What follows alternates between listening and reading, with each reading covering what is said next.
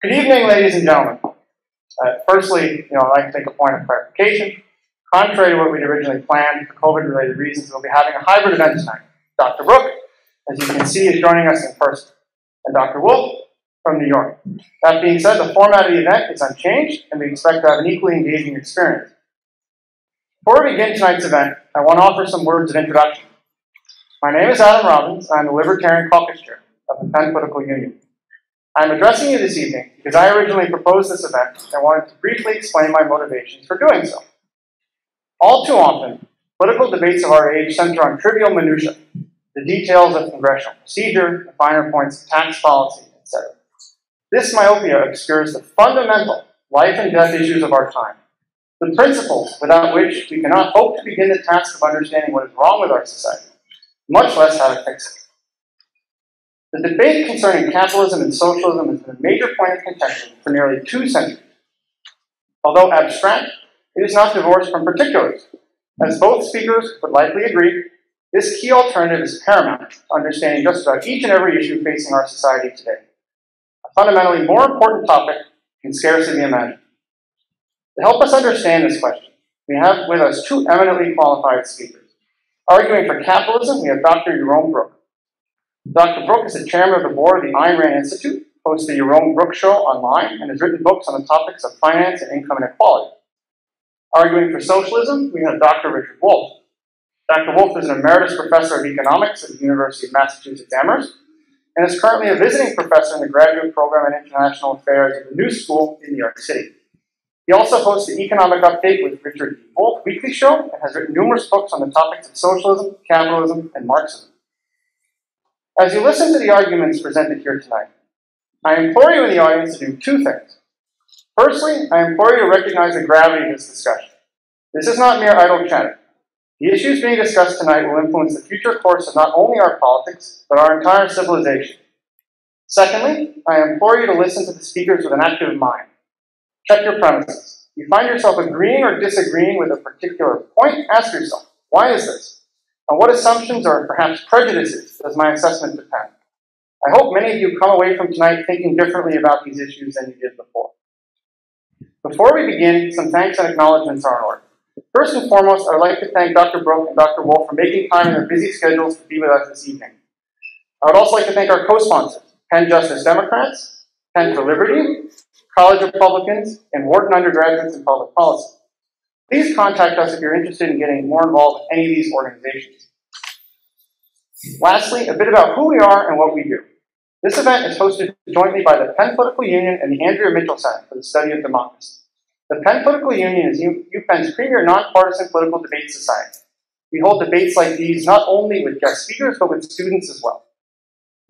In addition to supporting the Penn Political Union, the Andrea Mitchell Center sponsors workshops, lectures, fellowships, and research grants for a variety of political initiatives.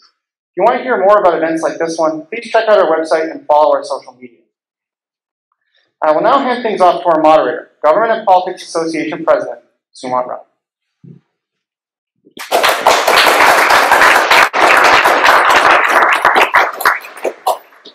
Good evening, everyone. The resolution for tonight is Should the United States embrace capitalism or socialism? In terms of the format, this debate will consist of alternating speeches by each side along with several question and answer periods throughout, um, with a longer question and answer period towards the end. We have tossed a coin and determined that Dr. Wolff will go first. Dr. Wolff, your opening statement, you have seven minutes, and I will uh, inform the speakers when there's a minute left and 30 seconds left. Let me just ask a question. Uh, if I read the instructions correctly, the opening statement is seven minutes. Is that right? Yes, sir, that's correct. Okay, good. Uh, thank you. Let me begin by appreciating the work I know goes into having meetings like this and to sustaining organizations like those that have sponsored this event. And I congratulate uh, those students and any faculty involved that work to make these kinds of events happen. And let me also thank you for choosing this topic of socialism, uh, since in many cases around the United States in my lifetime, uh, faculties and students have been afraid to do that, uh, either not touching the subject or bringing in someone to perform what we kindly call a hatchet job. Uh, so I'm not going to do that, obviously, and I appreciate your giving me uh, the opportunity. So, why am I in favor of socialism for the United States? Well, to be real honest, I'm mystified as to why you aren't. But I'll get back to that as I get towards uh, uh, the end. Socialism is just about as old as capitalism, maybe a little younger. It represents the recognition by millions of people across the world that whatever capitalism is, and however much it's better than the slavery and feudalism and the other systems that preceded it, like all of those systems, the human race can learn from capitalism and can do better. I'm grateful that people feel that way because that's why we got out of the slavery and that's why we got out of the feudalism and that's why we will get out of capitalism too, and for many of the same reasons. Socialism is always here because it is capitalism's own creation. It is the shadow of self criticism without which capitalism cannot exist. If you want to understand why socialism is here, then the answer is because capitalism is here and socialism is the criticism. And from whom does the criticism come? On the part of the victims of this system, about which I'll have more to say, and on the part of the critics. And when the system finally comes to its end, it will be because of a merger between the victims and the critics. But I have a special problem in speaking with you because you are in the United States. And the United States has had a very peculiar relationship to socialism uh, for most of its history. In the United States, things have to be explained that in most other parts of the world are already understood. Socialism in this country is portrayed as exotic, as strange, as exceptional, as evil, and as a whole lot of other things, most of which are quite negative. It's only possible to sustain that image if you live in a society where you cannot regularly interact with large numbers of people from many walks of life who are, in fact, socialists. And that would teach you what, for example, is the truth in most European countries. And because of this similarity, let me mention a few of those things that might come as a surprise to you. Two weeks ago, there was a national election in Germany. And when the votes were counted, the largest single party, which is now forming a government in that country, is the German Socialist Party. A few miles away is a country you've heard of, Portugal. Portugal has, for the last five, six years, been governed by a coalition. I'm sure you're all familiar with it. The coalition consists, number one, of the Portuguese Socialist Party, number two, its coalition partner, the Portuguese Communist Party, and the third member of the coalition is the Portuguese Green Party.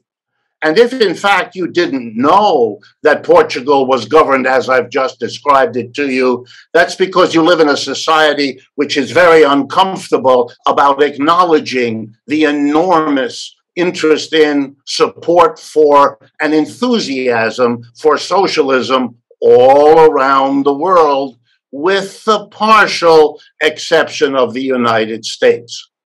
And yet, that exception is changing isn't it? And I dare say that had something to do with your decision about the topic tonight and about inviting me to address it.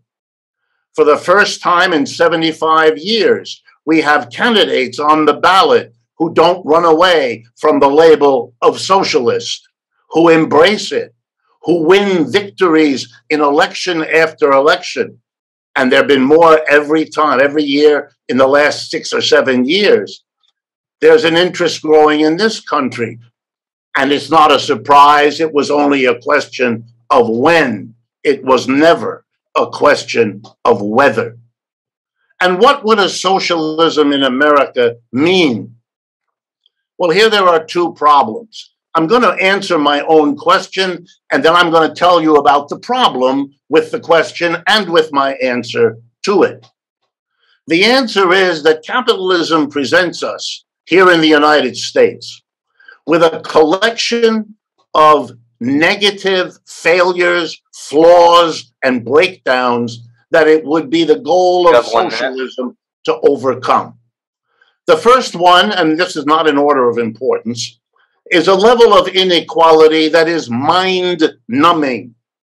We all watched a few weeks ago as our billionaires played in the sand, or I should say, in space, uh, to fly around for a few minutes while we watched them spending their money at a time when we are suffering uh, the deaths of huge numbers of people because our capitalist system.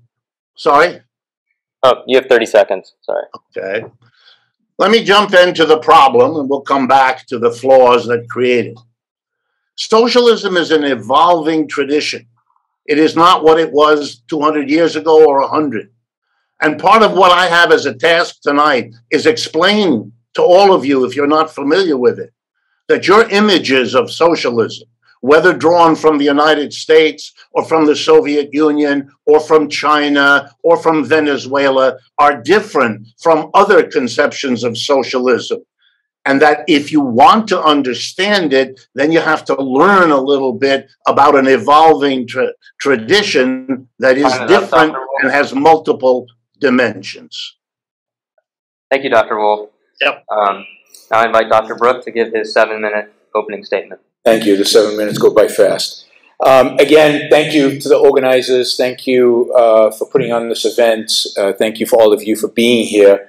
It's, uh, it's, I have the advantage of uh, and the benefit of seeing you in three dimensions, which is a lot of, much more fun than to see you through Zoom. Uh, I've done those those uh, uh, talks, and, and it's it's a lot less fun. Um, I too am bewildered about the state of the world.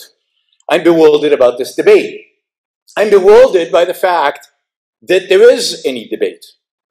Socialism, and this coming from somebody who, as when I was young, was a socialist, lived in a country dominated and ruled by a socialist political party for, for much, most of my youth, I'm bewildered by the fact that anybody is still interested in socialism. In every attempt made by the socialists, in every form, it has failed. It failed in Israel of my youth. It failed uh, on the kibbutzim in Israel.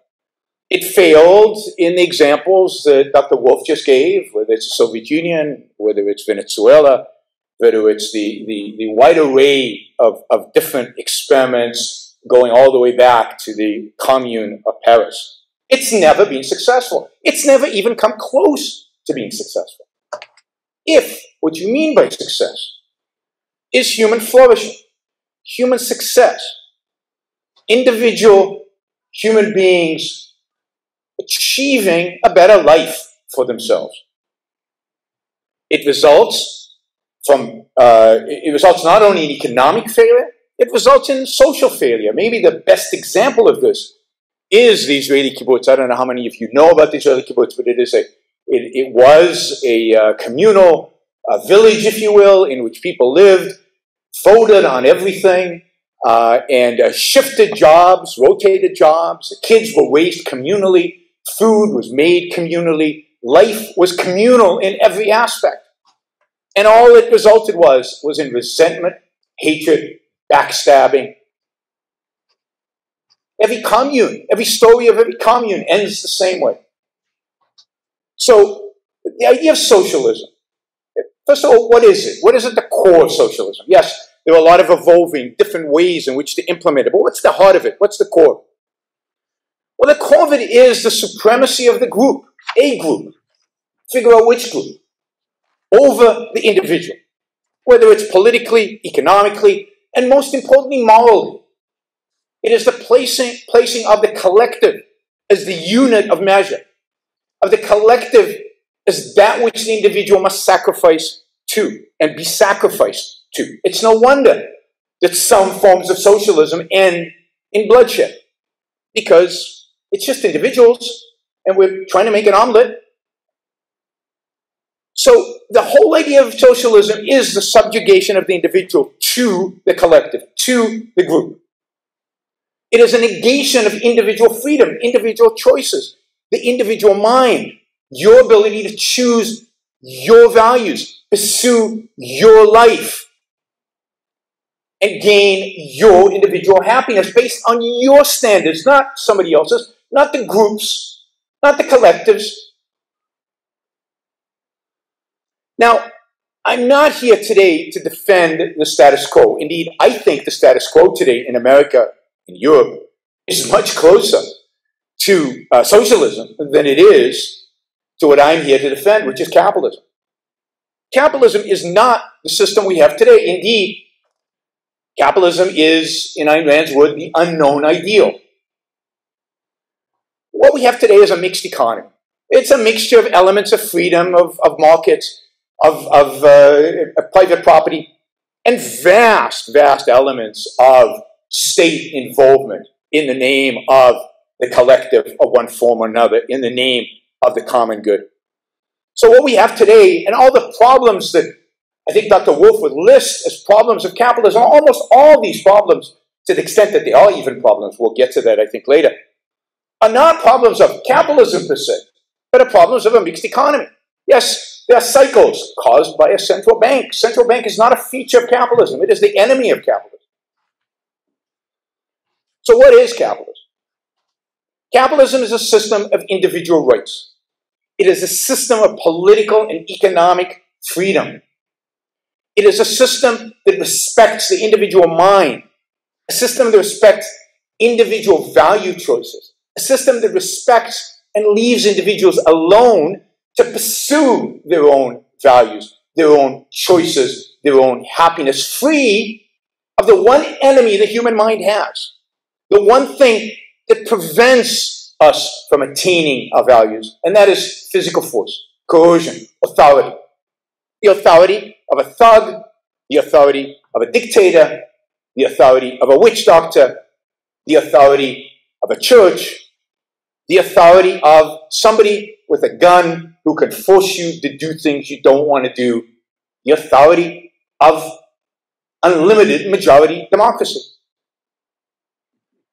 So capitalism is a complete separation of economics and state. It is the idea that the state's job is not to run an economy.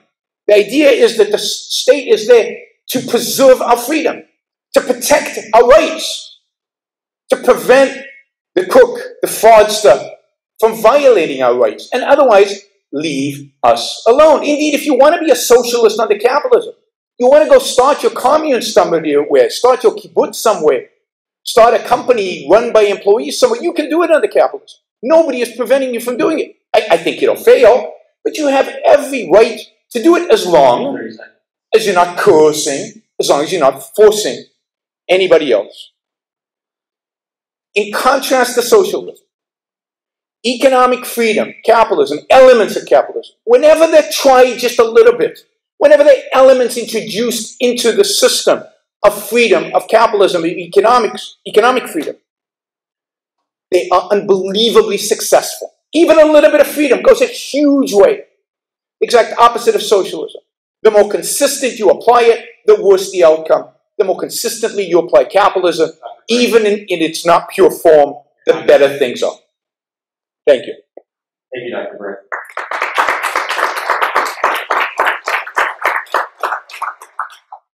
We will now move on to rebuttals from each of our speakers. Um, they will consist of five minutes, and we'll start with Dr. Wolff. Uh, Dr. Wolff, you have five minutes for your rebuttal to uh, Dr. Brooks' opening statement. Okay, let me pick up on a couple of points and focus on those. Uh, I really have no idea what the word success means, uh, given given its use in the last few minutes. Uh, I'm an economist; that's what I do for a living. So, one of the ways we measure success, it's an imperfect measure, but we use it all around the world, is economic growth, the growth in your GDP, your total output of goods and services. So, I want to compare with you uh, the freedom you get if you're no longer poverty stricken, if you have minimum wealth, welfare, uh, welfare, health, food, shelter, clothing. Uh, you're not a terribly poor person. Uh, the People's Republic of China, I'll use as an example because they call themselves socialist. Uh, over the last 40 years uh, that they've been developing their society, uh, their annual rate of growth has averaged between 6 and 9%, particularly over the last 25 years. Over the same period of time, the rate of economic growth of the United States has averaged between 2 and 3%. That is, the Chinese are growing three times faster than we are as a nation, and that's why they're the superpower in the world that you see and read about every day. Over the last 30 years, the real wage of the United States has been stagnant, growing very, very small. Over the same period of time, the real wage of the average worker in China has quadrupled they promised their people to deliver to them an exit from the lack of freedom that goes with extreme poverty. An extreme poverty that China suffered because, in the capitalist division of the world economy over the last 300 years, uh, what was left to China was the bottom of the barrel every Western capitalist country took a piece of China as best they could and didn't use it for the benefit of the Chinese, to put it politely. And then let me talk about freedom and the experience of socialism. The kibbutzim had a problem. Every system has problems. And for every socialism that had a difficulty, I'd be happy to give you a capitalism that did. One of the most successful corporations in the last 70 years, for those of you who, who may not be familiar, is something called the Mondragon Cooperative Corporation. It's a company in Spain. It's the seventh largest corporation in the country. It's a family of 150 to 200 worker co ops that reject capitalism. Why? Because when you enter a capitalist enterprise, you're entering a place from which all that individual freedom you just heard about is pretty well gone. A very small number of people at the top of that enterprise tell you what to do, how to do it, where to do it, and when to do it. And if you don't like it, they'll take the job away from you. And you can go home and be unemployed and suffer through that with your family. Lots of freedom you have in a system like that. You don't go to work in a democratic space. You don't go to uh, work in a place that recognizes your individuality. And for those of you who have ever had a real job in the world that I live in, know very well what freedom isn't when you're working on the job. And allowing you to leave and go to another place of work where you'll likely be treated in the same way is hardly a solution. Socialism is the yearning for people to do better than what capitalism has in store, to provide you with an education without crippling debt, to provide you with the necessities of life without humiliating you and subordinating you. And to do that, you cannot be asked to go work in an enterprise whose whole internal structure makes a mockery of the notion of democracy.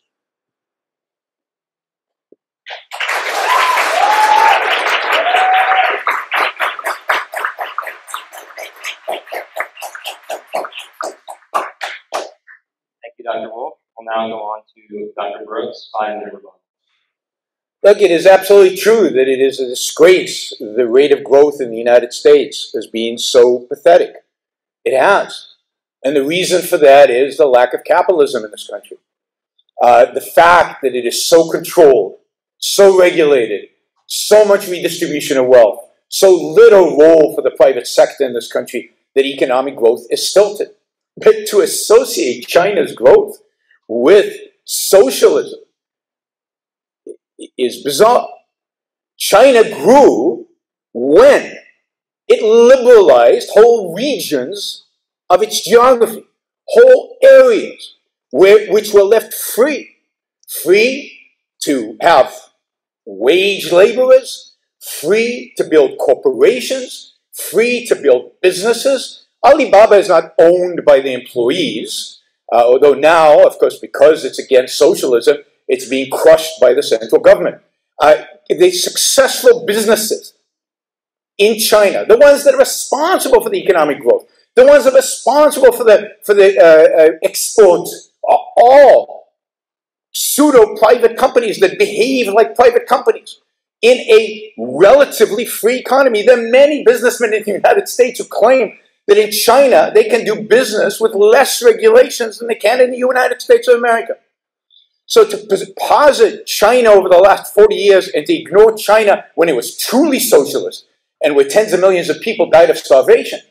I'll give you one short story because I think it indicates a lot, even though it's going to eat up most of my five minutes. How did China go from a position of starvation to a position in which it can actually feed its population? Well, there was a little village a little village, and I've got its name here. If somebody asks me in the Q&A, I can pull up the name of the village. It's in my notes. This little village in 1978 decided, because they were starving, because they had communal farms, and everything was grown for the party and for the community, and there was no private property, they decided to create private property. They had a document in which they assigned different pieces of land to different families. And within a year, they were growing four, five times more than they had grown as a communal farm. And they were scared because they knew the communists would come down and they would probably shoot them all. And luckily for them, at that point, Deng Xiaoping decided to be a pragmatist and not insist on communal farming, on socialism in farming. And he said, wait a minute, this is amazing. You mean if they divide these plots up into private property, food production goes up 4 to 5x? Maybe we can repeat this in other villages. And slowly, this idea of private property of employees and employers, of owners, spread through China, and production of food went through the roof. A country that was starving its people was suddenly feeding them and more. So, no, China is no example. It's not an example of capitalism. Again, it's a mixed economy, but with the balance of some socialist elements and the growth is all happening. If you look at the numbers, the growth is all happening in the private sector. Look, the state of the world today sucks, to put it in technical terms. It's not a good situation where we, we just went through COVID, we went through a financial crisis. It's been a bad time for a lot of young people. The solution to that is not to go backwards in terms of economic success. The solution is to go forward. The solution is to look for a system that can enhance our lives, that can make our lives better. Better, what I mean by better? Living longer, fewer children dying, having more wealth, getting a greater education. Compare the, the, the somewhat partially capitalist world with any other world, socialist or otherwise, in terms of success over the last 70 years. That is success. So we should reject today's system. But, we, but to move towards socialism is suicide. And it's unoriginal. If you want to be a radical, if you want to be somebody who thinks differently, who thinks outside of the box. Don't be a socialist. People have been socialists the last 150 years to no avail. The veil was pretty destructive. Be a capitalist. Embrace an idea that is new, that is radical, and, and that is actually focused on individual human well being, flourishing, freedom, happiness, success. Thank you.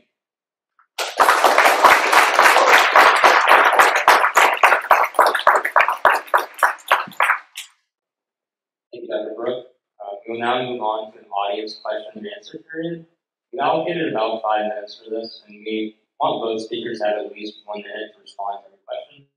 Um, so we'll probably take three uh, audience members. Um, we'd like you to come up to the center aisle and then uh, stand at the mic and present your question, just so that uh, Dr. Wolff can hear. Come up to the aisle. question, please uh, raise your hand and we will uh, select you. Um, yeah, uh, the person in the back. Yeah, yeah. And then uh,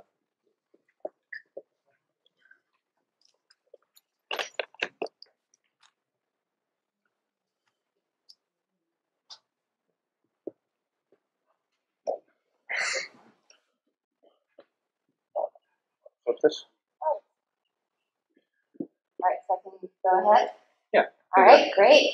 Thank you. Thank you to uh, the debaters. Um, so we heard a lot of high-level issues. Um, I, w- I would like to hear, just because of the chatterboxes that were behind me commenting a little bit, I think it might be helpful to know some of the fundamentals of the difference between a market economy and a command economy. I was wondering if um, Professor Wolff would mind talking about how a socialist system, whereas it's more about control versus voluntary value creation, how that's a benefit to the individual.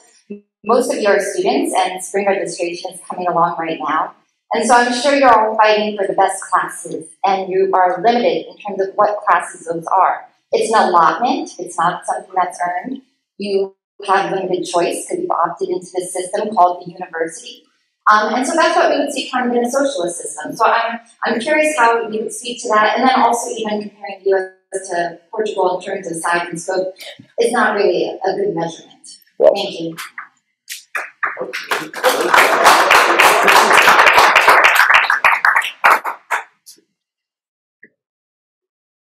Well, someone will someone will have to rephrase it because that was not. I couldn't hear what what the young lady was saying, so someone will have to uh, repeat the core of it. Uh, otherwise, I can't respond simply because I could not hear what it is she had to say. I think she was asking how a social system would actually work.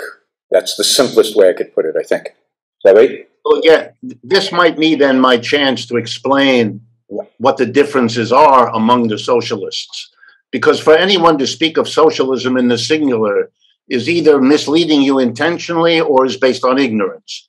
Uh, socialism has evolved. It has learned from its own mistakes and it has learned from the change of time.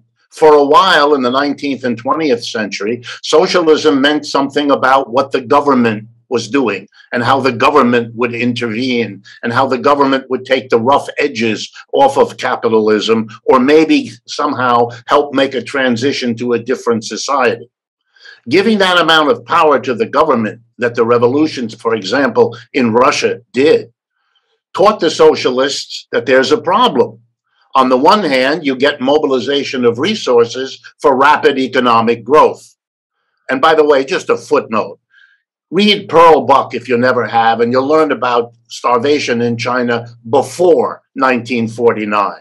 But to accuse the government since then as if they had some special lease on starvation is an extraordinary reading of history that I don't find recognizable. And I've done a lot of work on what happened in China. Uh, we don't live in the same universe uh, to listen to that kind of talk. One of the reactions of socialists to the experiences they've learned from has been to focus on a different location as the goal of socialism. Socialism in the 21st century has a different focus from what it had before. And if you don't pay attention, you don't know. Let me finish, please. Yeah, this is a really important point. Let me get, get my 30 seconds uh, won't intrude too badly on anybody else. The focus now is on the transformation of the workplace to make it a democratic place, one person, one vote, where we all together decide what to produce, how to produce, where to produce, and what to do with the output. We don't allow a tiny minority of owners, investors, boards of directors to dictate, because that's what they do, what is done with the labor, the brains, and the muscles of the vast majority of people. The radical democratization of the workplace is the key focus of socialism that's rising in the world today. And it has to be at least acknowledged before you collapse a changed relationship into something old that you want to excoriate. And if indeed we're going to tout capitalism versus socialism, as socialism being an old idea, capitalism predates it, by a good bit. So to celebrate capitalism makes you in love with something even older than any socialism that exists on this earth. Dr. Wolfman. I, um, yeah, just a comment saying you'll give Dr. Brook uh, an extra amount of time to respond to this question. Yeah, so I'll, I'll, just say this idea of democracy in the workplace is bizarre. Um, it, it is a rejection of the idea of division of labor. It's a rejection of the idea of, of specialization, of expertise, of, of, the, of the knowledge that it takes to run a business, to run particular uh, aspects of a business. Uh, we don't have democracy in science. Science is not decided. Truth is not decided democratically. We don't have democracy in families. We don't. We don't have democracy in marriage. We don't have democracy in sex. The group doesn't decide for me what values I should pursue, what I should and shouldn't do. Now, if you want to start a business in which employees get a vote on everything, do it.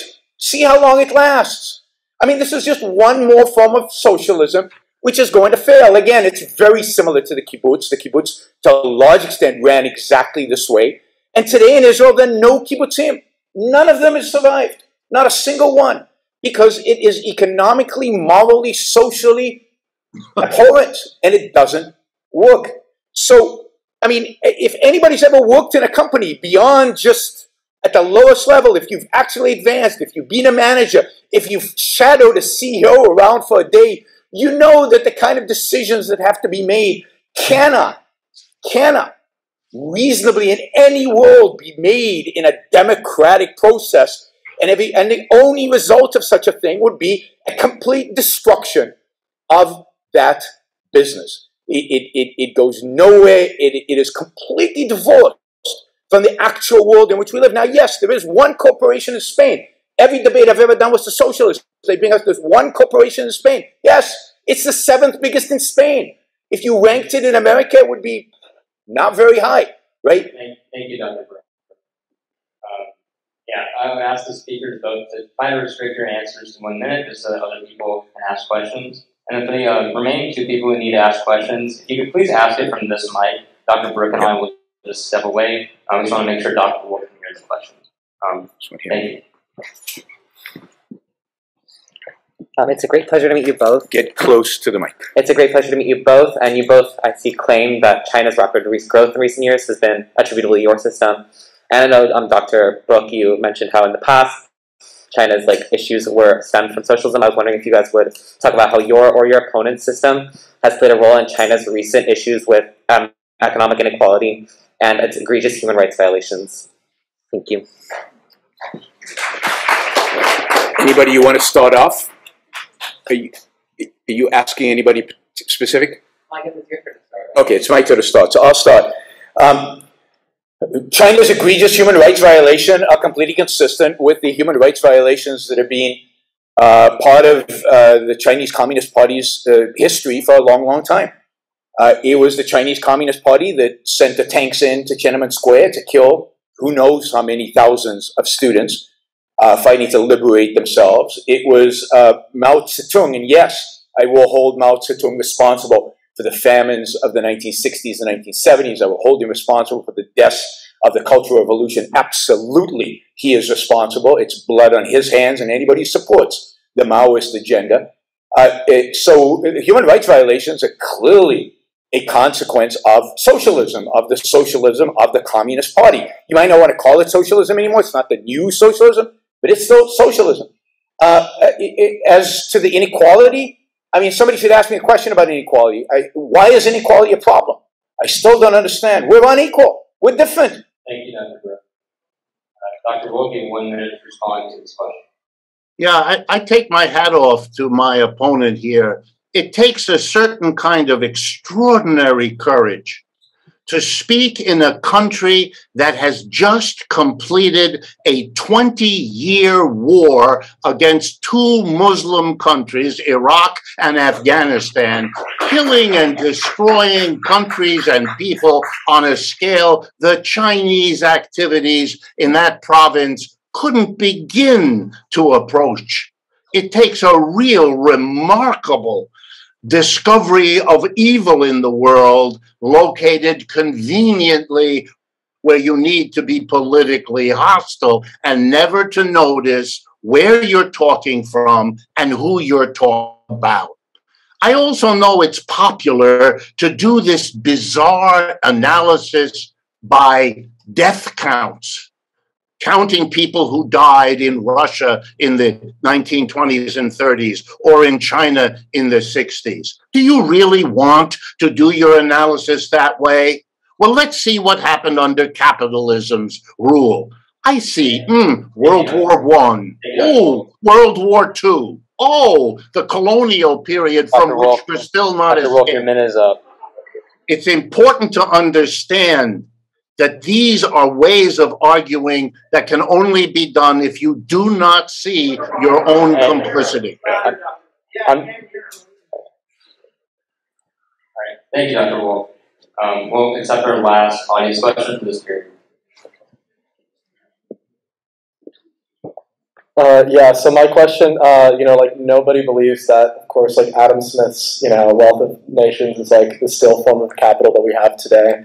But I'm just kind of wondering what both of your thoughts are on kind of the way that capital has evolved and what that means for the right and the left in the United States. Specifically, Dr. Wolff, I, I wanted to ask you, like, Marx is first a critic of capital and like how those implications on the ways capital has changed, the way that we interact with it, and the way that labor has changed over the last 25 years, and the implications for leftists in the United States. So, yeah.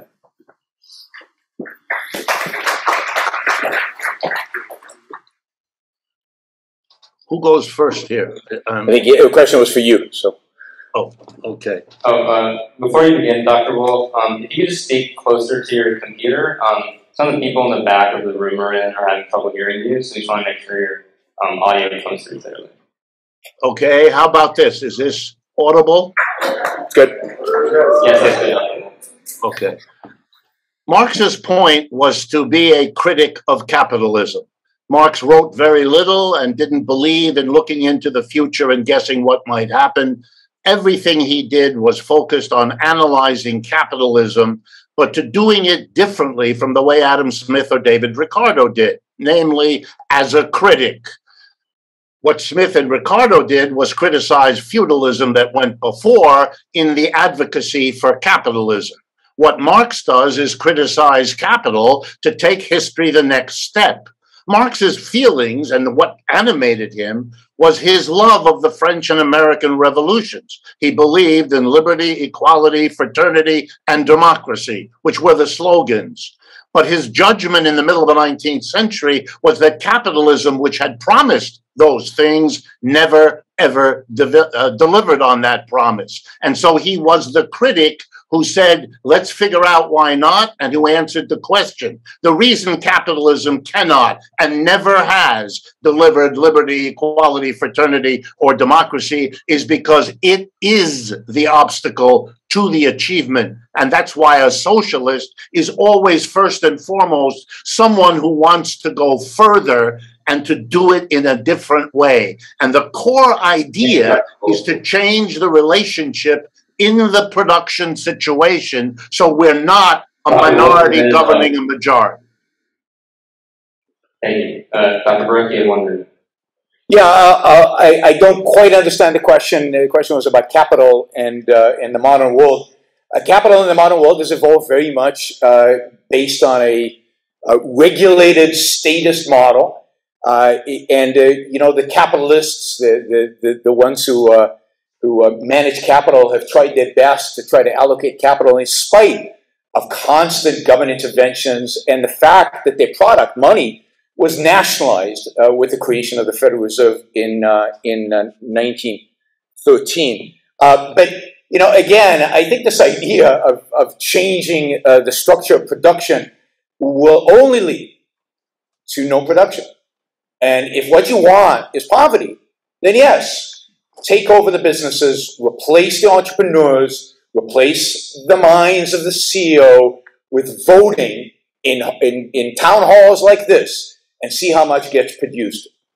Nothing.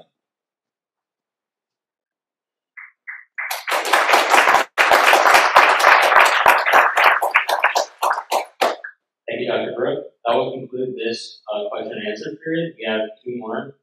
Um, but first, we have another round of rebuttal, five minute rebuttals from both of our speakers. Um, and uh, we'll start with Dr. Wolff for a five minute statement. Okay, because my uh, counterpart here thought that only Mondragon is listed, let me give you a couple more examples, since even the most cursory study of worker co ops around the world will indicate to you that they exist in virtually every country on this planet, and often in huge numbers. I'll pick one for you. Around the area of Bologna in Italy is a province called Emilia Romagna. In that province, 40%, 40, 40% of all enterprises are worker co-ops. It's been that way for decades. They wouldn't have it any other way because these are stunningly successful businesses. Mondragon is important because over its 70 years, it had to compete with capitalist, top down, hierarchical, undemocratic workplaces, and it outcompeted them, eventually absorbing them to become the seventh largest corporation. That's why it's important. Two American corporations pay Mondragon to allow their scientists to learn from them. One is General Motors, the other one is Microsoft. The people on the left don't want to face it, but they're reality is these are very successful businesses and there's lots of literature to demonstrate it. Number one. Number two. Capitalism this is a remarkable business this notion of blaming the government. Every capitalist failure that we point to my adversary wants you to believe it's the government. This is doing a wonderful service to big business. They get to kick us, to fire us, to kick us out of our homes, to abuse us on the job in a hundred different ways, to sell us faulty products. And here we have a cabal of people who tell us it's the fault of the government, as if we hadn't figured out years ago who it is who controls this government, who it is who funds the lobbyists that write the bills, who it is that donates the bulk of the money. This notion of protecting big business from the criticism its behavior deserves by focusing all the blame on the puppets who sit in the offices is a nice move for the corporations, but it's not a serious proposition for anybody who thinks.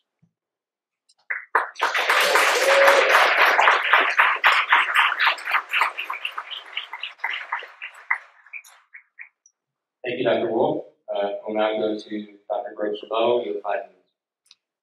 Cronyism, we can agree, is an awful thing. It's terrible. But what is the solution to cronyism? More democracy? No, of course not. The solution to cronyism is to get the government out of the business of economics. The reason cronyism exists is because you've given a bunch of politicians power over our lives. You've given a bunch of politicians power over businesses. Businesses are going to, if they can, they're going to try to influence their power. They do everywhere. I, I suspect that even the co-ops in Spain and Italy lobby the Spanish and Italian government. And, you know, maybe it's not an accident that Mondragon in Spain grew over the 70 years primarily under fascist government, fascism being a close relative, ultimately, of socialism. So Cronyism is bad. Let's get rid of it. We get rid of it by making politicians impotent, by taking away the power of politicians over our lives, over the lives of businesses, over the, over the choices and decisions of production. But look, I think there's a, a, a, much more important point here, and it is a moral point, not an economic point, although economics flows, I think, from morality. And that is the fundamental question of who does your life belong to? Who should make choices about your life? If you want to be an entrepreneur and go out, or if you want to be a worker and you want to get a salary and do something else in the rest of your time, or if you want to join a commune, who gets to make that decision? Do you make that decision? That's what freedom means. You being able to make a decision, start a company, become an employee. And by the way, I, I, find it funny about all these big businesses firing everybody. I don't know how many of you have ever worked in Silicon Valley. I fear very few of you. But in Silicon Valley, it's the employees that are firing the companies all the time. People are job hopping all the time to get higher and higher salaries and do better and better. That's the beauty of a semi even capitalist economy. But do you get those choices? Do you get to make decisions for yourself? Or does some central planner or does the group, in, in the case of a democratic company, get to make decisions for you? And what's the group do you think going to decide if they don't like you about your salary next year? Because they're going to decide. It's not going to be based on your productivity. It's going to be based on how much you suck up to the group, how much, how nice you are, how friendly you are to the leaders of the group. So the entire system is built on, the entire socialist system in all its forms, I recognize the wide variety of socialist forms, all of them are based on one principle. Your life doesn't matter. Your choices don't matter. It's the group that gets to decide what you do, how you live, where you live, what you do. Yes, uh, Dr. Wolff has replaced the, uh, the, the, the dictatorship of the proletarian with the dictatorship of the majority. The majority gets to decide how you live, what you do. He's replaced the philosopher king with the majority. But majority's, majority rule is not moral rule. Pure democracy is rule of the mob.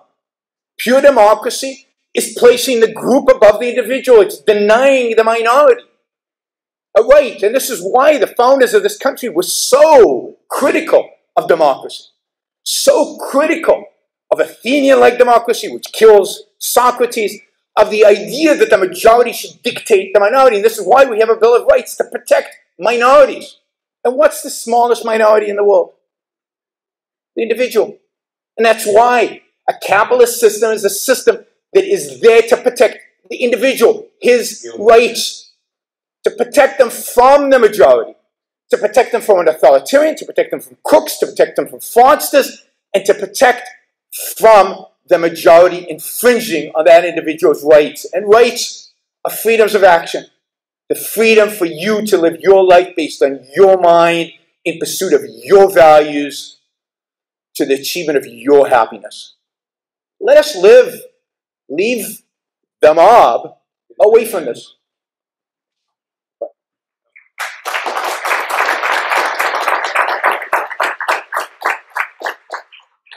Thank you, Dr. Brook. Uh, we will now move on to another uh, audience question and answer period. Um, have the same format as the last one. Uh, you guys help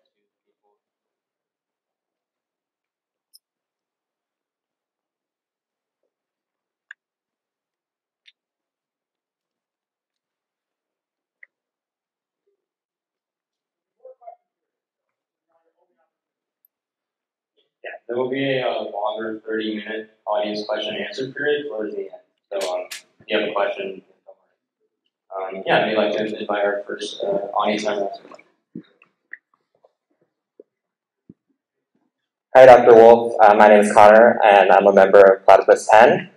Uh, in your introduction, you praised social democratic parties in Europe for their recent electoral successes. However, in your first rebuttal, you praised China's steep economic growth, a country very different than European social democracies. My question is should socialists support any quote unquote socialist country that has positive economic growth? Or are there distinct political goals that a socialist movement should aim to achieve? Thank you.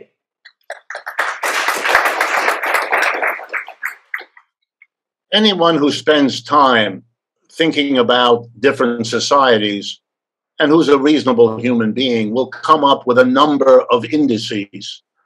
It would be uh, strange to have one or even two. It would be like going to a doctor who simply takes your temperature, tells you you're fine because it's 98.6, and sends you home. You know you need a new doctor. You need someone who uses a variety of measures and a variety of indices. So, of course, socialists of all different kinds use a variety of indices. But if you want to talk, as apparently some of us do, about individual freedom, then ask yourself what, how it helped your freedom to have to go into debt to get a college degree, a debt that you will carry for the rest of your life. What a crazy capitalism that puts your income and the cost of an education in such a relationship that you have to go into lifelong debt. And we know what it's costing.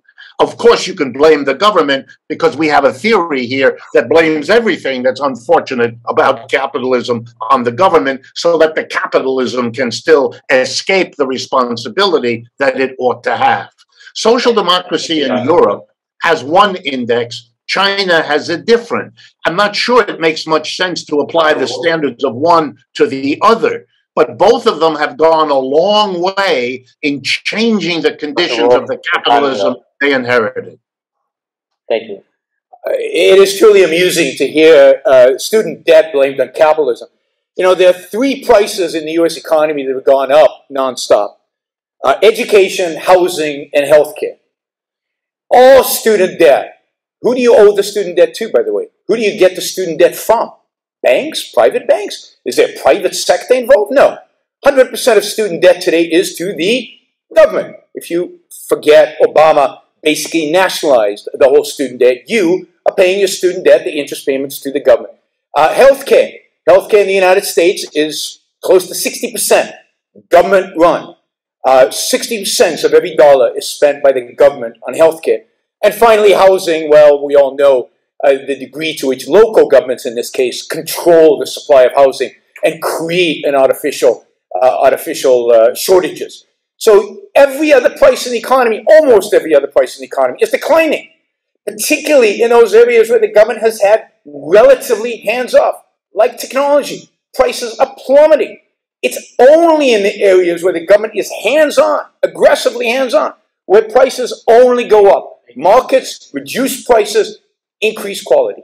Always.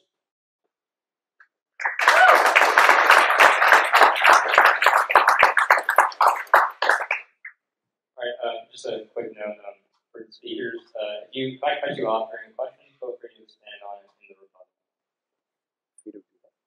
Expand on it. Yeah, sorry. Hi, so this question is for Dr. Brook. Um, freedom and success have been major uh, points in this debate, and I'm sure we'd all agree that happiness is, you know, integral to those two ideas, freedom and success. So, considering that, how would you explain that uh, compared to other social democratic countries, I won't call them socialists, but countries that adopt more socialist policies like France, Sweden, Norway, Finland, uh, the United States uh, has higher mental illness rates, uh, overall lower quality of life by pretty much all uh, all metrics, um, and lower health outcomes. How would you explain that? I, first of all, I dispute all of those statistics. It's just not true. Uh, you know, the French, suddenly the French, uh, they live in smaller houses, drive smaller cars, have smaller lives than Americans do. They make a lot less money. They have a lot less wealth. And when, uh, when uh, you are sick and you have a little bit of money, you don't go to France to get treated. You get on a plane and you come to Mayo Clinic, which is what Berlusconi and pretty much any political leader in Europe does when they get sick. They don't go to France. They don't go even to Germany, which is significantly better healthcare than France. But look, I'm not here to defend the American system. The American system, as I said originally, is no good. The American system is way too socialist. It's way too has way too much government involvement in it. We would be much happier, much richer, much wealthier. We'd have a thousand times better health care if it was privatized if it was actually, if the government got out of the business of healthcare and actually allowed, do you know, the, the little bit of private sector healthcare that we have in the United States today provides 70% of all the innovations around the world. Um, it provides almost all, in, in every aspect of healthcare.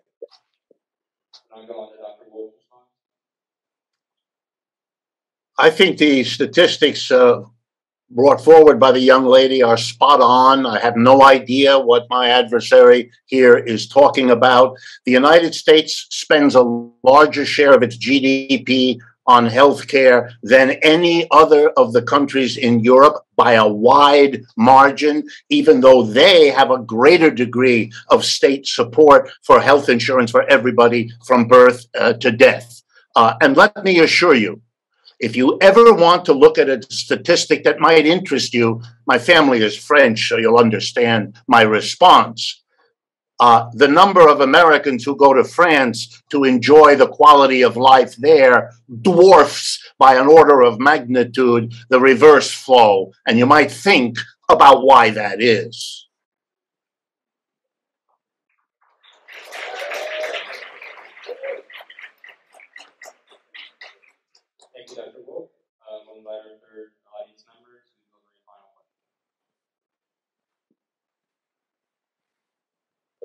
So this is a question for Dr. Wolff. Uh, many socialist countries are extremely homogenous. Uh, how do you imagine your idea of socialism would work to any degree in America with many different races and ideologies? And if it is always just true majoritarianism, Uh, is a system always destined to fail because of the oppression of the minority.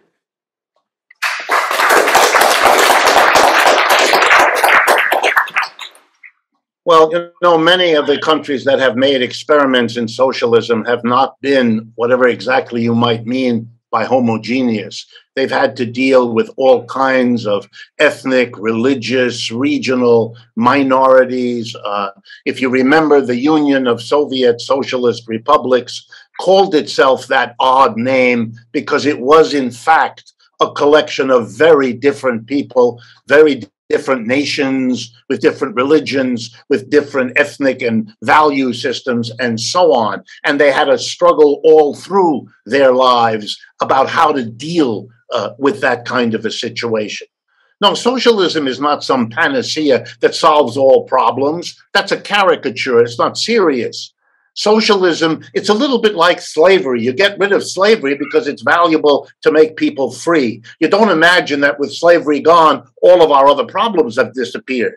It's the same with capitalism. We got to get rid of a system that organizes itself for the control by a very small minority of employers who have absurd power over the mass of the majority which have to be sustained in that unequal situation by being endlessly regaled with stories about their individual choices, which of course they can't make because of the structure of the system that constrains them.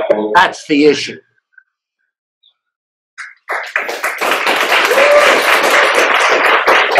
I mean, the, the idea that because in America we have employees, therefore they have no choices, is bizarre. All you have to go is walk into a grocery store in the United States and see the amount of choices that you have. And if anybody ever, ever went into a grocery store in, uh, uh in uh, the Soviet Union, you would know the difference in the kind of choices that you have. Not just material choices, but the spiritual choices of the kind of music you want to listen to, the kind of art you want to experience, the kind of uh, experiences you want to have.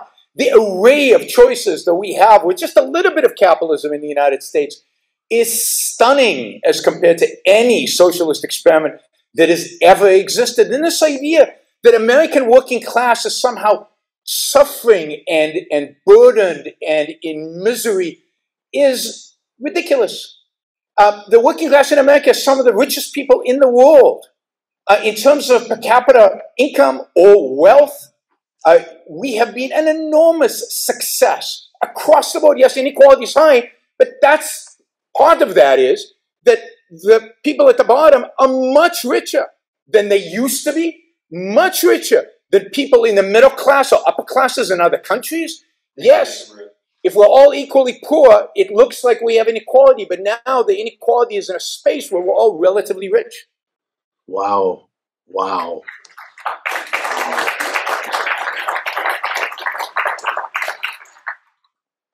Thank you all the audience members for asking wonderful questions. We'll now move on to our last um, rebuttal period. Um, so remember, each speaker has five minutes to use a rebuttal. Um, I also invite both speakers to expand on any of the responses during the audience question and answer period, since um, time during those are limited. And um, we'll start with Dr. Wolff. You have five minutes. Okay, I'd like to go back to the differences of the of the socialism so that people understand that socialism is an enormous movement around the world. You know, Karl Marx died in 1883. That's barely 150 years. And over that time, his thinking and the thinking of other socialists have moved from Europe to every corner of this planet. Here was a set of ideas, a critique of one kind of economic system, capitalism, and the advocacy for a transition to a different and better one. And this yearning for doing better than capitalism, from Scandinavia to the tip of Africa to Latin America to Asia, everywhere, has spread like very few sets of ideas in the history of the human race because they speak to something. They speak to a innate human desire to do better than the situation that they're in. The last time capitalism crashed globally was in this century. Three times we've had a collapse of capitalism. the dot com crash of 2000, the subprime mortgage crash of 2008, and now this crash of 2020 and 21. Wherever capitalism has settled, every four to seven years, it crashes. A system as un- unstable as that should have been pushed aside long ago. If you lived with a roommate as unstable as capitalism, you would have moved out years ago. Why do you accept this? Why do you accept this grotesque inequality? You can't play to go in space the way Mr. Bezos did. He's an individual, you're an individual, but that's where the similarity comes to an end. And the splits and divisions in our society coming out of the inequality, coming out of the bitterness of a declining empire. These are really serious problems of Western capitalism. And they are leading people to rediscover what? The socialism that has been pronounced dead and gone a dozen times, only to come roaring back with yet another surge. It speaks to something in the human experience. Don't forget to listen. Weigh it in any way that you want, but to have it shut out, to think that the only debate is whether the government is the bad guy or, the private capitalist is the bad guy is not systemic thinking. It's getting lost in a defensive maneuver to keep the capitalists who run this system from bearing the responsibility for what their decisions do. Blaming the puppet means you don't understand the puppeteer. And socialism has as one of its goals to focus your attention there. And then also learn from the experience. Socialists who did the Paris Commune in 1871 learned and then they did the 17 revolution in Russia and the 49 revolution in China and many more. And each time they learned this is what we did that is progressive, and this is what we did that we must not do again. By the way, that's exactly how capitalism emerged out of feudalism. And the history doesn't stop. Every economic system in the history of the world was born, evolved, and died capitalism is not unique. It was born, we know that. It has evolved, we know that too. So, guess what the next step is? It's not a question of whether, it's a question of when. And the when may surprise us as this society we live in continues to disintegrate.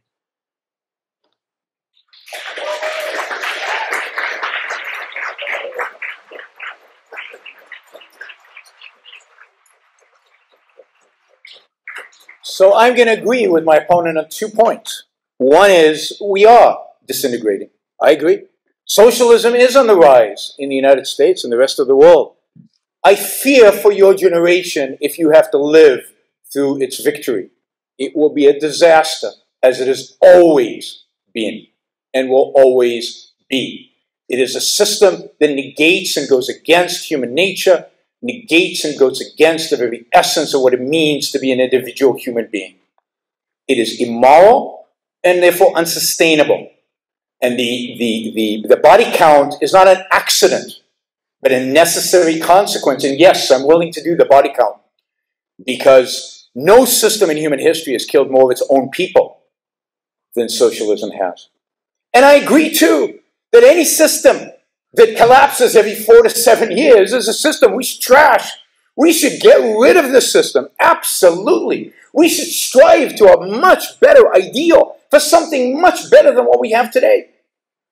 But it is economic ignorance not to attribute the dot com bubble burst to the Federal Reserve's expansion of the money supply and flooding the market. Knowingly, irrational exuberance, Alan Greenspan told us or not to attribute the uh, financial crisis to the government subsidizing of mortgages and lowering of interest rates to negative real rates, which is insanity for any economist, anybody in finance who knows anything about finance, and to blame lockdowns on capitalism rather than a government policy which resulted in, which, which dictated lockdowns, dictated that you're wearing those ridiculous masks right now. Yes, it's government. It is government. And unless you understand its government, you don't know what the solution is. And the solution is freedom. Look, from the beginning of time, there is a fundamental human conflict out there.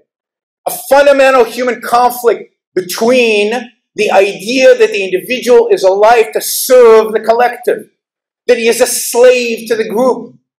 It goes back to tribes, it goes back to Plato's Republic, it goes back to Christianity, it goes back to almost the entire human history.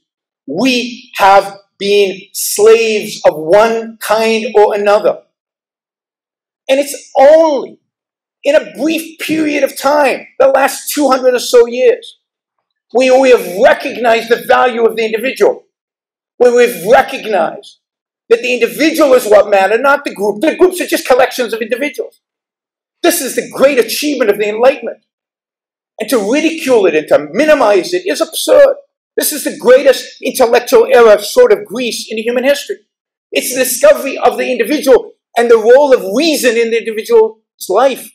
The importance of your ability to think freely, free of authority, free of the group, free of people dictating to you what you can and cannot think, can and cannot say, can and cannot do. Capitalism is a manifestation of that freedom, which doesn't exist today. Capitalism doesn't exist today. That freedom doesn't exist today. You want to start a business, you have to get permission. You want to you want to put a product out there into the market, you have to get permission. You want to make, you know, Jeff Bezos went to, to Mars. Yeah, when you guys invent something like Amazon and work your butt off for 40 years doing Amazon, you can go to space too. But until then, you won't. When you build, create, change people's lives, change the world, then you can benefit from those changes. But to sit here and demand, I want to be like Jeff Bezos, but you're not. You're not as equal. The fact is that we have different abilities, different intelligence levels, different degree of diligence, different work habits, different levels of productiveness, different levels of honesty, different levels of morality. We're different. And the idea that somehow we should be equal as an outcome is bizarre. And the only way you can achieve that kind of equality is by suppressing and repressing anybody who expresses any form of minor ability, by pulling everybody down. That is what socialism has always done. And that is when you don't protect the rights of minorities, and particularly the individual, is what always gets done to the individual and to minorities. So be be radical and be ambitious. Fight for freedom. Fight for capitalism, real capitalism, not the nonsense we have today, the mixed economy we have today. Thank you.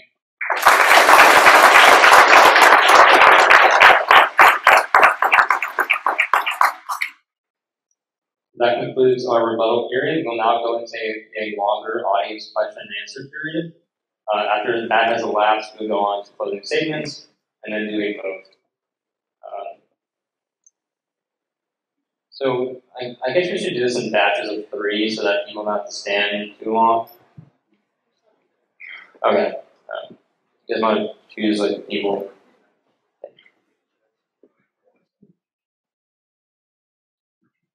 Just people line up here.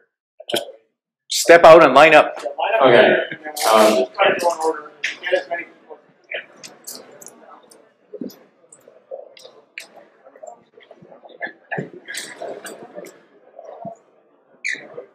It's a long line.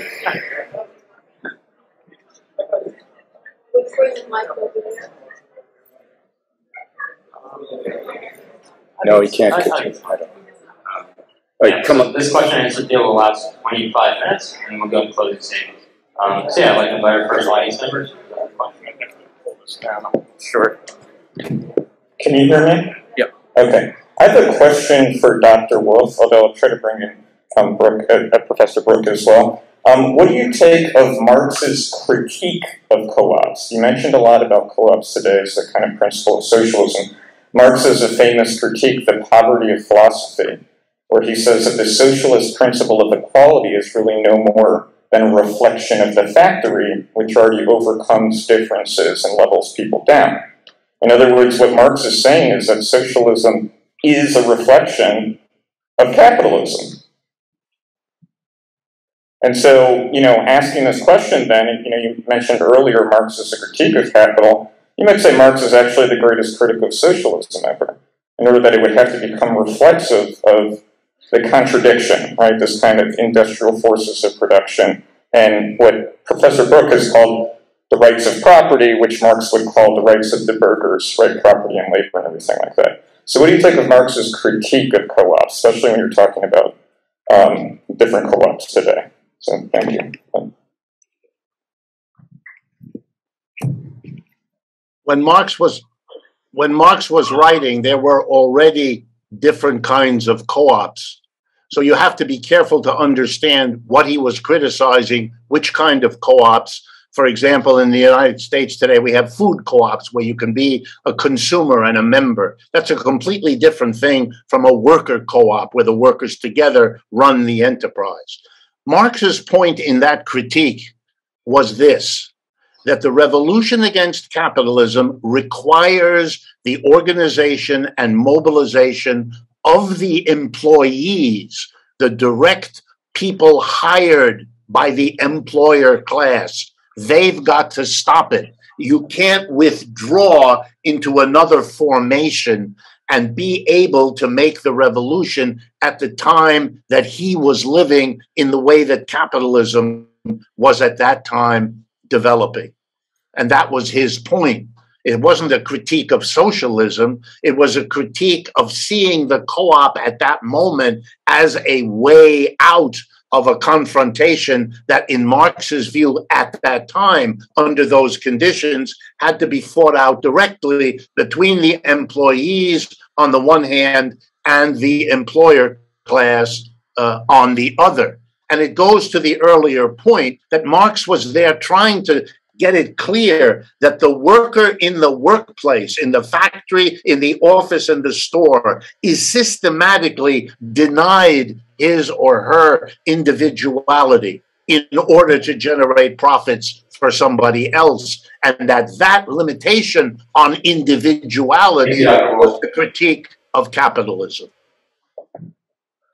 yeah, I mean, Marx was wrong in terms of his critique of capitalism and in terms of his critique of individuality. Uh, indeed, it is only capitalism that has created individuality and choices for the vast numbers of workers who used to be used to be subsistence farmers, used to be uh, used to have a life expectancy of well under 40, used to have child mortality rates where half the children were dead before the age of 10.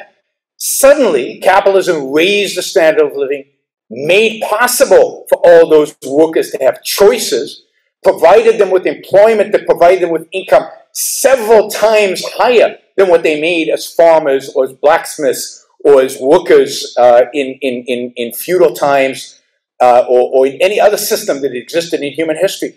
Uh, you know, we haven't talked about the massive benefits during the 19th century that capitalism created in this country, all over Europe, anywhere that adapted even a little bit of it the, the rise in the standard of living and quality of life and the increase in individual choices that indeed capitalism makes possible for individuals for the first time in human history. Funny, it was an argument I made in the beginning about China that you didn't like that you now resuscitate in order to celebrate capitalism. It's a bizarre kind of switcheroo. You might want to rethink that. Thank you, Dr. Wolff. Um, we'll invite our second audience member to ask a question. Hi, Dr. Wolff. I was wondering if you could explain how, with the oppression of workers under capitalism and the purported success of workers' co-ops and communes, why are more people not rushing toward these workers' co-ops? Uh, do you believe your system could thrive on a voluntary basis, or will the government have to force people into it? Well, it, depends where you look as to whether or not people are rushing. Uh, capitalism is a system that is not friendly to new developments like this. For example, I work with worker co ops across the United States.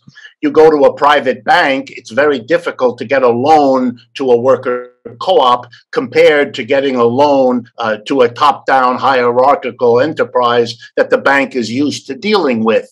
This is not surprising. New systems have a hard time developing out of the old. Early capitalism had a very hard time developing out of feudalism. And because my adversary doesn't know his history real well, the predecessors were not self sufficient subsistence farmers. They had a name in Europe. They were called serfs, and they lived an unspeakable existence in which their individuality had almost as little role to play as the role of a factory worker 50 years later when capitalism had taken over. That's why socialism exists. It's the celebration of the individual and the creation of social arrangements above all production to enable that freedom to be realized. Otherwise, it's purely a pretense that denies the actual situations that workers are facing, and more and more in this country. I might remind you all that life expectancy of the last few years in this country before pandemic has been going down, not up. Capitalism is having a real hard time, which is why we're having this debate. Life expectancy is indeed going down. It's going down because of The guess what? yeah, No, yes. because of the lack of jobs, but more importantly, because of a lack of purpose. Because people have been promised things that government cannot provide them. Because people are being told to sit pat, their jobs are going to come back. Don't worry, be happy. The government's going to hand you a check. You're going to be on welfare and you're going to be happy. The world's going to be wonderful. Not working, not providing, not being productive. That is the consequence of a welfare state. The, the, the level of, of suicide, the level of drug addiction that has plagued this country and resulted in a declining, uh, declining life expectancy in the United States. It results of false promises made by statists of all kinds, left and right. I'm no big fan of the Republican statists either. Left and right, who have been making false promises instead of encouraging those steel workers in Ohio to get in their car and drive to Western Arkansas, where there are plenty of jobs and where they can make a good living at a lower cost of living. But God forbid anybody take personal responsibility over their own life and actually act in a world where we tell them they will be taken care of. Uh, now I've been our, our audience members.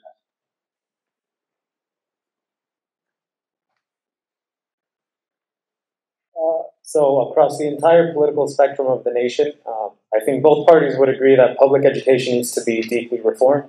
How would capitalism and socialism reform public education today?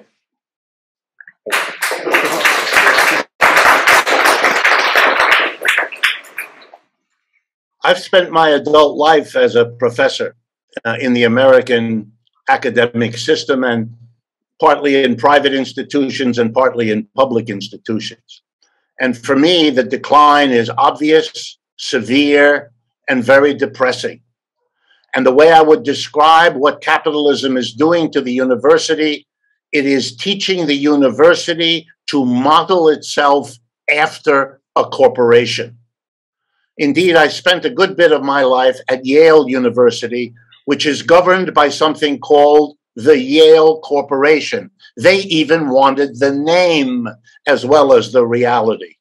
And in these universities, a tiny administration, a tiny percent of the people involved, smaller in number than the faculty, much smaller in number than the students, and smaller in number than the staff, make all the key decisions.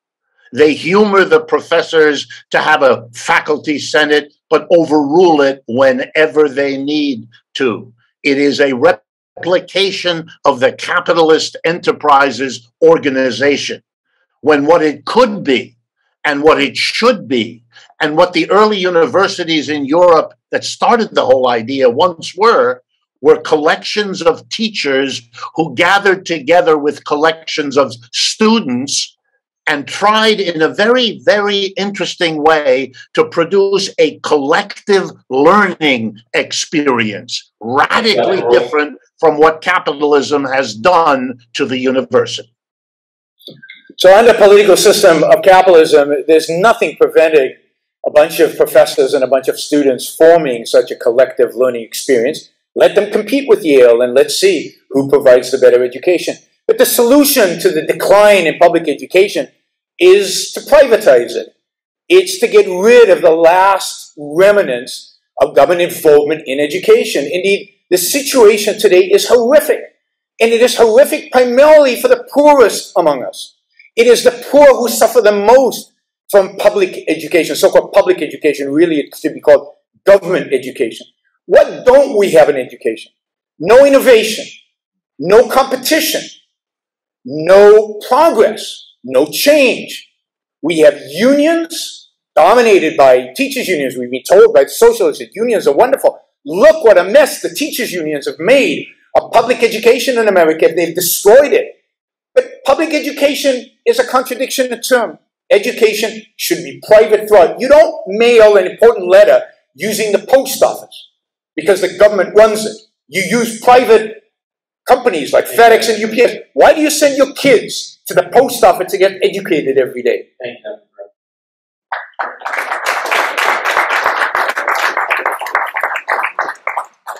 I'd like to invite our fourth audience member to ask a question.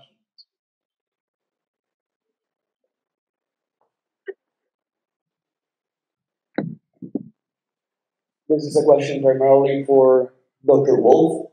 Um, when you mentioned capitalism today, you mentioned things like um, the war in Afghanistan or lobbyists. Um, whereas the capitalism that Professor Brook mentions is, as he put it, an unknown ideal. So it seems to me that there is a contradiction where you blame wars on capitalism when it's actually governments that carry out, or lobbyists that are trying to influence the government. Moreover, I was wondering how feasible you think it would be under the equal outcomes of socialism. For example, taking the example of Jeff Bezos, if not everyone is able to have a rocket ship to go to space, is no one supposed to go to space? And if so, how do you maintain motivation in a socialist society to make it progress? Thank you.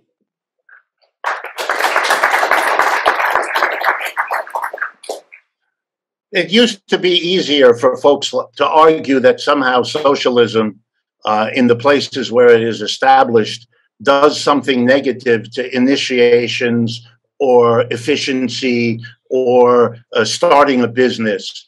Uh, I don't face that conversation very often anymore because it's so easy to demonstrate that countries that call themselves socialist and mean something significant by that have been able to show initiative and achieve efficiencies and economic growth and all those things that they weren't supposed to be able to do. My adversary is saying things which only politeness hold me back from pointing out are simply errors of fact. I mean, they really are not something for us to debate over. What was done by the communist government in China after 1949 is everywhere in the world recognized for the humanitarian transformation of those people's lives that it was. Did it along the way involve all kinds of conflict? You bet. But that's re- the reality of every society. Capitalism comes into the world in violent revolutions French, American, British, and so on. It has had two world wars. It is a society that has a lot to account for. Now, it's convenient to blame the government always because that lets the big businesses off the hook. And I hope you're well paid for it. But otherwise, it's an act of love and, and a kindness on your part, which I do admire. I, I wish I was paid kind, uh, well for it. Um, the rewriting of history under Mao Zedong is stunning. Uh, a lot of a lot of my uh, Chinese friends in China will be stunned to find out that the 1949 revolution liberated them and made them better off. It's it's uh, you know the rewriting of history here, but this is what happens. Um, uh, let me say something about you know uh, capitalism is to be blamed for World War One, World War Two. World War I, Austrian-Hungarian Empire ruled by emperors. Doesn't sound like capitalism to me. The German welfare state doesn't sound like capitalism to me. Where was capitalism in World War I? Indeed, World War I was the end of an era of capitalism. It was the demise of relatively relative freedom in Europe. Uh, and, uh, and again, the fascism of Hitler is capitalism. Uh, the, the, the communism of Stalin, which, if you don't know your history, cooperated with Hitler in starting World War II, that is capitalism? Really? Uh, the the 9/11 was capitalism. Yes, it, it, was in a sense because one of the reasons the Islamists hate us is because of our freedom and our capitalism. Uh,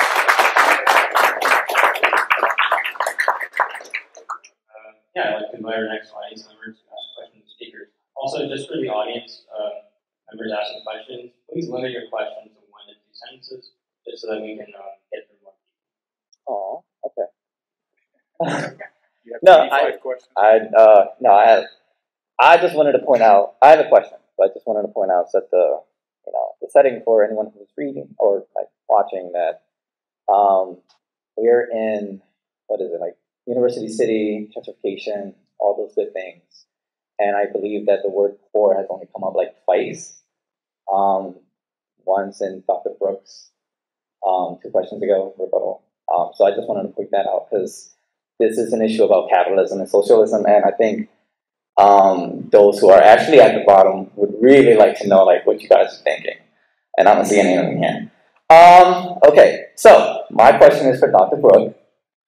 There is a contention in your definition of capitalism in terms of yes, there are inequalities amongst people, yet that we all share the same freedom and the same pursuit of happiness. Let's borrow that.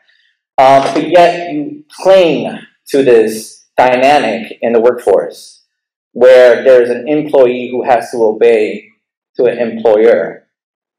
Um, yet you, you go, I know, I know you're going to say, oh, choices, they, they, they can move, all those things. But labor history doesn't really say that. They have to struggle to actually get those choices. So my question is, I just want to clear out that, you know, um, that contention there. Uh, Can you formulate a question? Sure. Um, how do you account for labor history in terms of that employer-employee dynamic that you um, claim that it is um, innate to capitalism? Yeah, there's been a employee-employee dynamic uh, since the beginning of capitalism. Uh, you know, as my opponent has mentioned, capitalism evolves, and an understanding of that relationship of employee-employer evolved. Evolved from long weekdays and low productivity as capital was invested, as productivity increased, the number of hours worked declined, the number of children worked, uh, you know, left the factory because they weren't productive anymore. So capitalism, as capital was invested, as productivity increased, its relationship with labor changed and it became much more beneficial in a sense of time off, in a sense of, uh, and yes, there is a struggle. Nobody denies that sometimes you have to stand up to get a raise. Yeah, you should walk into your boss's office and say, I want a raise, and if not, I'm leaving. And sometimes you as labor have to do that. There is negotiations. That's completely natural in an evolution of a system.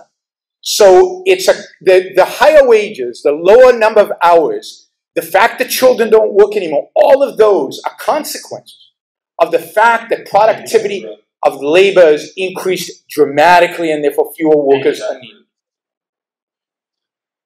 Well, I remain astounded by the different universes we live in. Capitalists and capitalism have stood against every single advance of the working class. You had to fight to get the working day from 16 to 14 hours, then from 14 to 12 to 10 to 8. We celebrate May Day around the world, not in the United States, because it was the time that the eight hour day was finally won. Capitalists have never given anything to workers. If the, if the productivity went up, the capitalists clapped and took it as profits. The irony of ironies is that the capitalists who stood in the way of every single gain my opponent mentioned now want us to give them credit for the fact that the workers forced it in strikes and upheavals and revolutions. But you can't have it both ways. It's very clear who's opposing a rising minimum wage in the United States over the last 10 years and who isn't. It's very clear where the capitalist employer class stands on all these issues.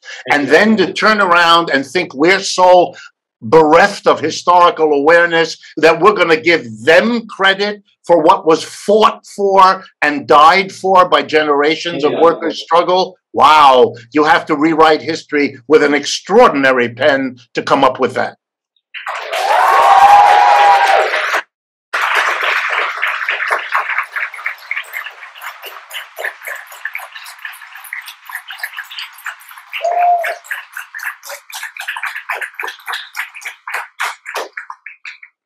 we might have only time for a few more questions. Um, so if uh, the people at the front line don't mind, I'm gonna pick someone from the middle or back just because I feel bad that you know the people in the back didn't have a fair chance to ask questions. So um, the uh, person in the blue mask with the black top.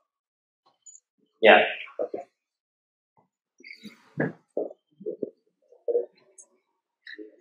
Okay, where should I? Uh, this um, okay, hi everyone. Um, I have a question for um, Dr. Brook.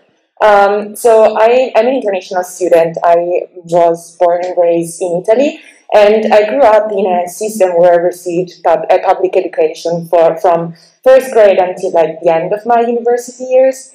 Um, and I'm also a first generation student, so I come from like I'm the first person to graduate in my uh, family, and um, I was able to graduate just because I was given I was given state support basically, and I never had to pay one single cent, and I was given like economical support to you know study, especially during university years, and so I was wondering how do you feel that state intervention and the distribution of resources in my case uh, would have been too much. And, you know, like, uh, yeah, because one of the things that he said is that, you know, like, one of the problems uh, of a social democratic um, system is, you know, excessive state intervention. And a related question is, um, how do you feel that my education or education of a person like me coming from the peripheries, from an uneducated family, under, underprivileged and so on, would look like in the society that you are, are advocating for. And I would like to specify this. I'm not talking about the United States, that, as you said, are excessively socialist um, and give too much state support already.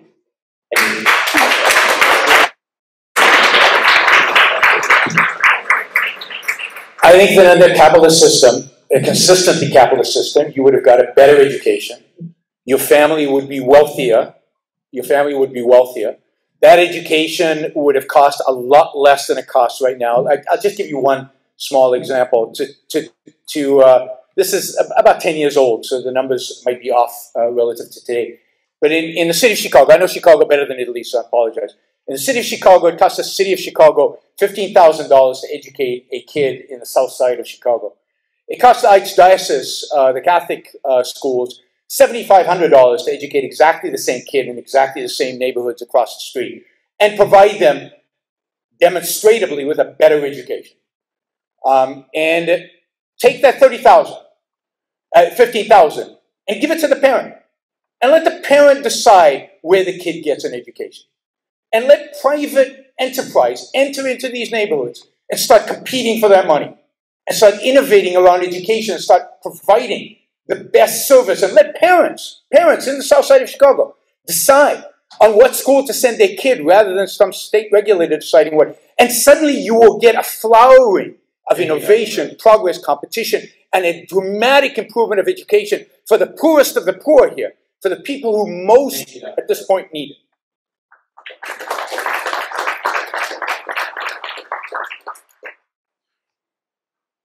Is it possible for me to respond or not? Oh, yes. Go ahead, Dr. Wolff. Okay, there's another make believe here about private and public. Let me tell you about Yale University that you may not know. It loves to represent itself as a private university, but it isn't. The largest single source of revenue for Yale University are grants from the United States government.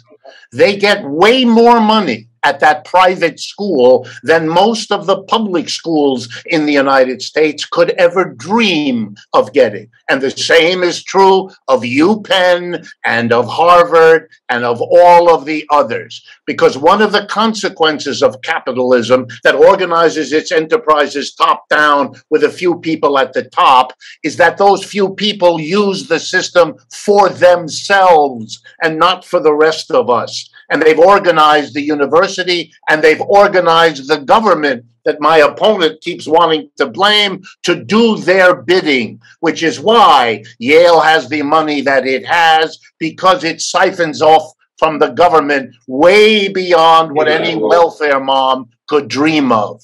You're making my point. That's what happened under cronyism, not capitalism. Yeah, calling it cronyism doesn't erase the capitalism that it's the crony of. No, it's it's not crony capitalism. It's just cronyism.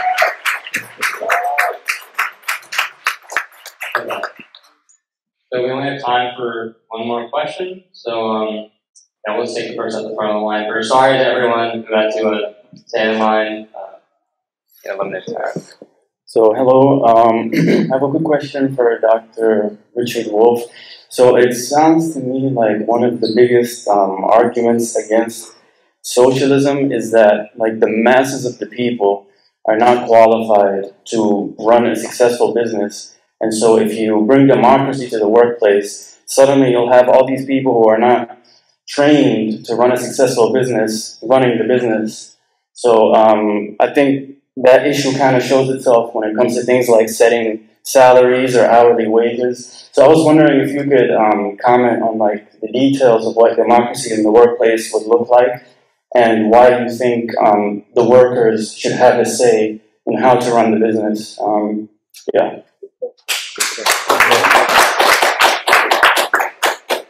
I'd be glad. I'd be glad to do that. By the way, the arguments that the workers can't run a business, that workers can't together run a business, those are the same arguments that were used to tell us that we can't have parliamentary government, that we can't have elections, because we need leaders, you know, who are specialists, who are so excellent, you know, like that retarded king that we've had for the last 40 years, because he had the great good luck to be born to a retarded parents or whatever else story we're told. It's an insult to human beings. When workers get together to run a co op, and we have thousands of examples across the world right now, they're not stupid. They know that some people have skills in one area more than another, and they accommodate that in a variety of ways. What they don't do is allow some people to lord it over others because of the structure that gives them the place to do that they rotate functions. So if you're in a leadership position now, you'll be in a non leadership position later, which is a very good guarantee that you don't abuse the position that every capitalist in power has always done.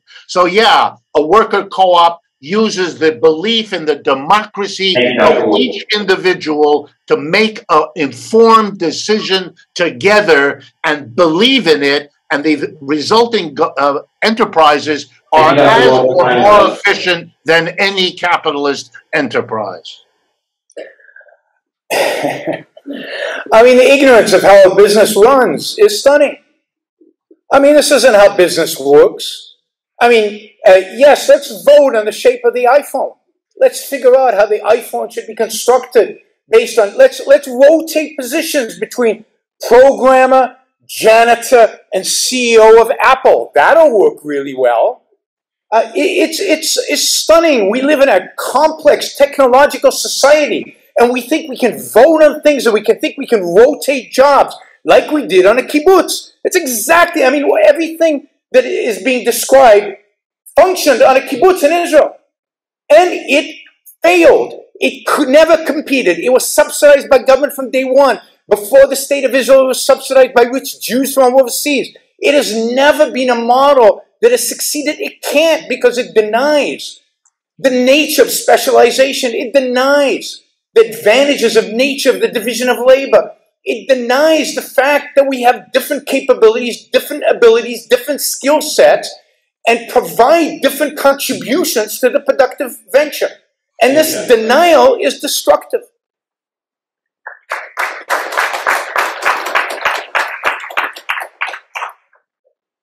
Thank you to all the audience members for all our question answer periods who came and asked like, questions.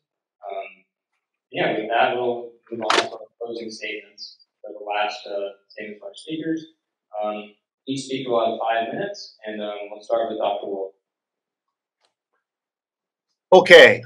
Um, I'm amazed at the uh, contents of this uh, discussion. I think it could have been a lot more productive. I don't find the debate between private and state enterprises all that meaningful. My understanding is that state enterprises have long ago, in most societies, copied what private capitalist enterprises did.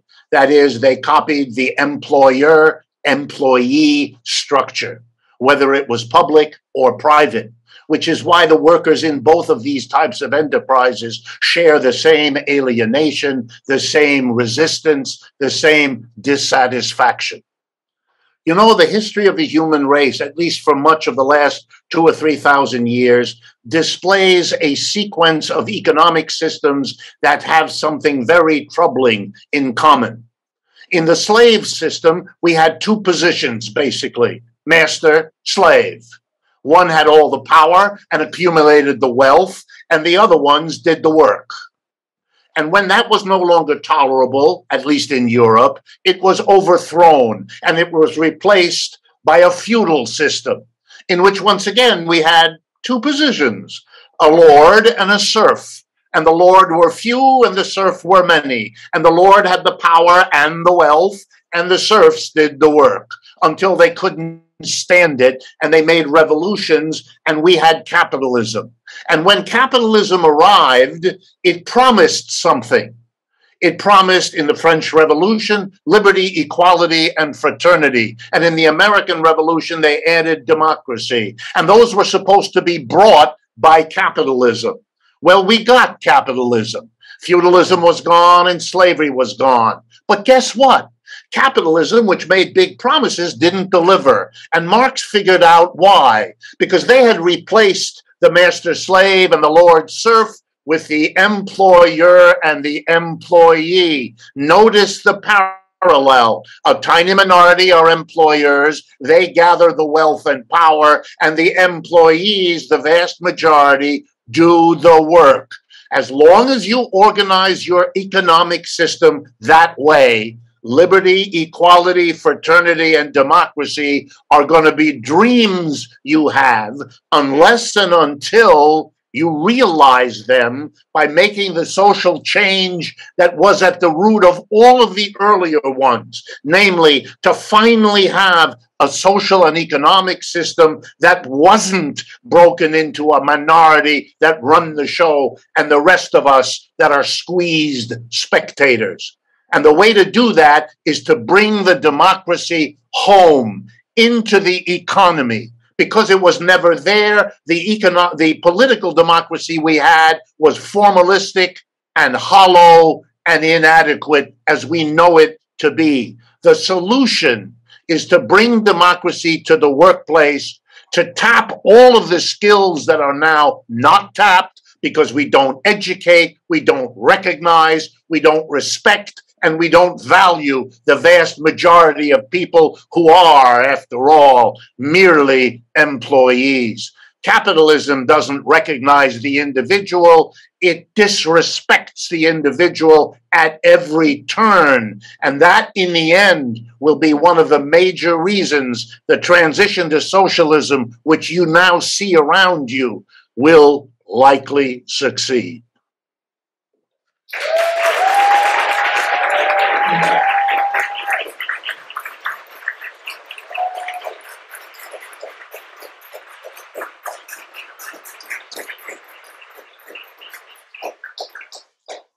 So my opponent has never talked about the force, the coercion, the authoritarian nature of his so called democracy?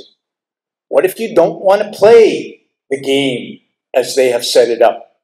What if you want to start a business? What if you want to be an employee?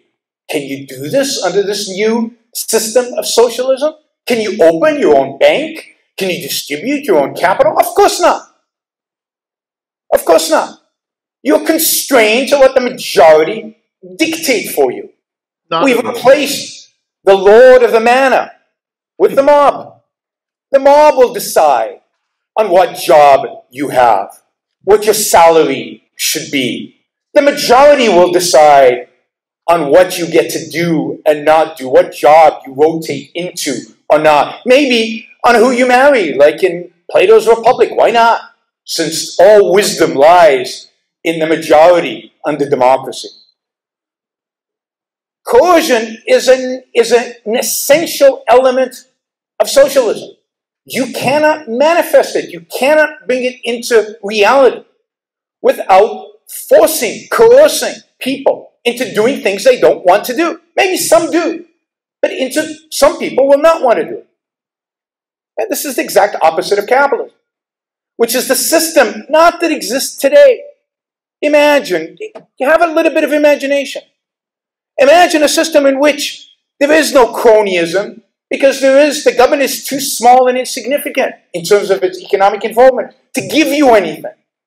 Imagine a world in which you can choose. You want to start a co-op, you can start a co-op. You want to start a kibbutz, you can go voluntarily as long as you don't force anybody. You can do it, and you can suffer the consequences of those choices. You want to start an Amazon and you want to be employed by Amazon? You can do that too. You want to go to the moon? Raise the capital, make the money, go to the moon. It's up to you. You get to make decisions free, free of coercion, of authority. And you get to benefit from the consequences if it goes well, and you get to suffer the consequences when it goes badly. It's your personal life, your personal responsibility. Live it. Don't live it for the sake of some collective and common good. Live it for your sake. Figure out what your values are. Figure out how you want to live. And hopefully, you're still in a political system which allows you to manifest those values, allows you to strive, to act, to pursue your values. Somebody mentioned, uh, let me also say, it seems to me such a poverty of imagination to imagine a world where you could divide everybody into two groups employees and employers. Bizarre. How many employers become employees? How many employees become employers? How many people have multiple jobs? How many people start multiple companies but then become employees or start as employees, learn the skill, figure out how to do it, and then start a business? We have an opportunity under the capitalism, and we live in a mixed economy today, so the capitalism would be 10 times greater. We have an opportunity to do so many things with our life. What a poverty of thinking. The number of businesses started in the United States is in the millions a year. People start their own businesses because they don't want to be employees. Great. That's wonderful. And they land up employing people. And those people learn a skill and ultimately they become employees. I have to say something about the poor because somebody mentioned it and he's right. The only system in human history to raise people out of poverty has been capitalism. The only places in which people have come out of poverty have been places that applied some capitalism. It is socialism that enslaves the ambitious poor into a mediocre life of choosing between an employee and an employer. No, you have a richness to life. The possibilities are infinite if you are free to make those choices. Don't let's evolve into a system where we are less free. Let's not evolve into a system where we reduce choices. Let's not evolve into a system where we have less imagination. Let's embrace a system that expands human freedom, that expands human prosperity, that expands the possibilities of what can be done. Imagine new business forms that none of us have thought of. Under capitalism, you can make them real. Under socialism, you need permission. I want a permissionless society. I want a free society. I want a capitalist society. Thank you.